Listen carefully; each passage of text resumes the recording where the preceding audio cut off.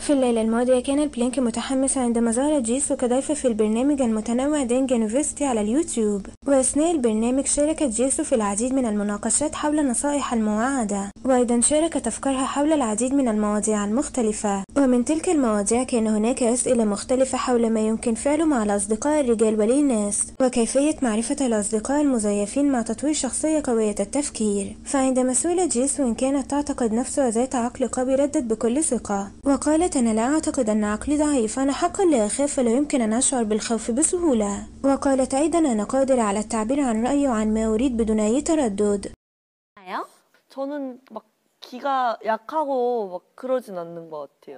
وأيضا تكلمت جيسو عن صداقتها التي دامت لمدة عشرة أعوام مع جينوو ورغم كل تلك الفترة الطويلة إلا أن جيسو أوضحت أنه من الصعب أن يبقى الرجل والمرأة مجرد أصدقاء.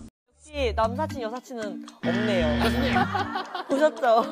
لأن الأمور يمكن أن تسير في منحنى غير متوقع طريق رومانسي وعندما سئلت جيسو إن كان هناك أي رجل طلب منها أن يكونوا مجرد أصدقاء قالت لا وقالت أن هناك خط واضح بين الصداقة والاهتمامات الرومانسية. ولكن يرى بعض ال fan جيسو ربما كانت تكذب لأنه من المستحيل لا يطلب منها أي رجل على الأقل أن يكونوا مجرد أصدقاء. وفي أخبار أخرى انتشر مؤخرا مقطع تيك توك لفنانة أظافر من تايلاند. وشاركت فيه تجربتها عند العمل مع ليسا في حفل ملبورن مؤخرا. والمثير للاهتمام أن تلك الفتاة وصفت ليسا بكلمة إنها عميلة مضحكة. لأن ليسا تحدثت معها باللغة التايلاندية لفترة طويلة كما لو أنهم كانوا أقارب.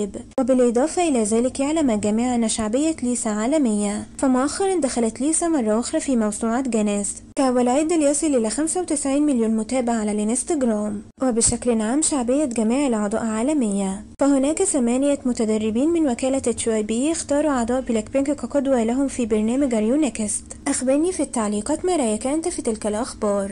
ولا تنسى الاشتراك في قناتي من أجل معرفة المزيد عن أخبار بلاك بينك أراكم في المرة القادمة.